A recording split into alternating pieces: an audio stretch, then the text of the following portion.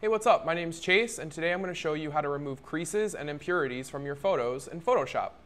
Um, I already have a photo open here. There you can see in the bottom left there are a bunch of scratches and creases. And what I'm going to do to begin with is to create a duplicate of the background layer. That way we're making our edits on a duplicate layer and not on the original. So I'm going to drag the background layer to create new layer. That's going to create a copy, which you see right here. Using the healing brush, I'm, you can adjust the size by using the brackets larger, smaller.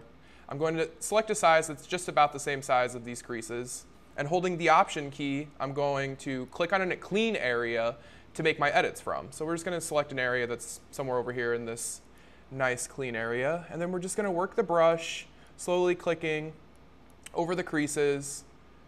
You can see that they're going away as easily as possible with this clean area. Remember to always make a new selection of the clean area as you're moving along because the selection does move as well.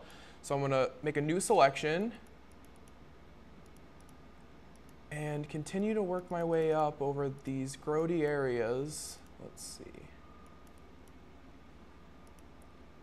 Continuing to hold down the option button to get a new clean area selected.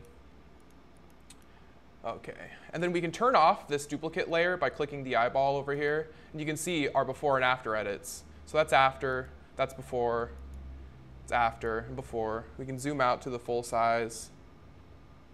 see. And see that's before, you have after, and then you'll just continue to do that across the entire photograph. And once you've finished, we're gonna flatten the image by going to Layer, Flatten Image, and then we'll save it however we like. My name's Chase, and I just showed you how to remove creases and impurities from your images in Photoshop. Thanks for watching.